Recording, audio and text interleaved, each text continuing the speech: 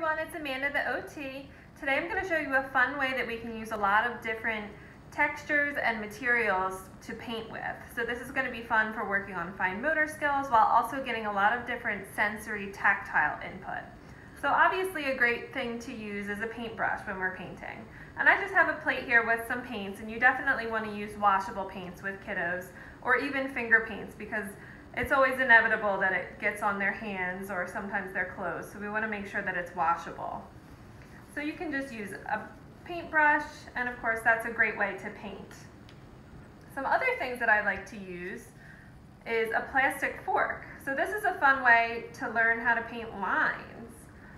So you can go across, and it's just a different feel, a different look, a different sensory experience. So kids can have a lot of fun painting lines with a fork.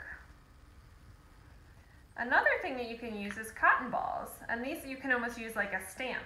So you put some paint, and then it makes a different kind of shape. And of course the texture of the cotton ball is a new sensory experience to paint with. Another thing you can use is a Q-tip.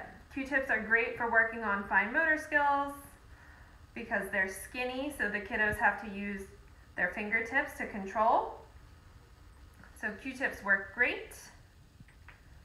Another thing you can even use is just some crumpled up paper. So again, we're going to use it like a stamp and see what different kinds of shapes you make depending on how the paper is crinkled.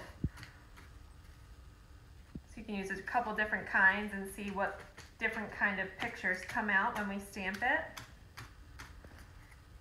And then the last thing is something similar is actually tin foil. So I've just taken some sheets of tin foil and crumpled them up. And again, this is a new textural experience for our fingers. And it's also a fun way to see what kind of patterns come out.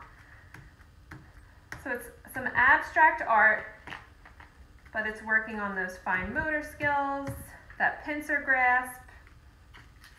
And it's just a lot of fun to touch all these different materials, textures, and to be able to see what kind of different pictures they put onto our paper.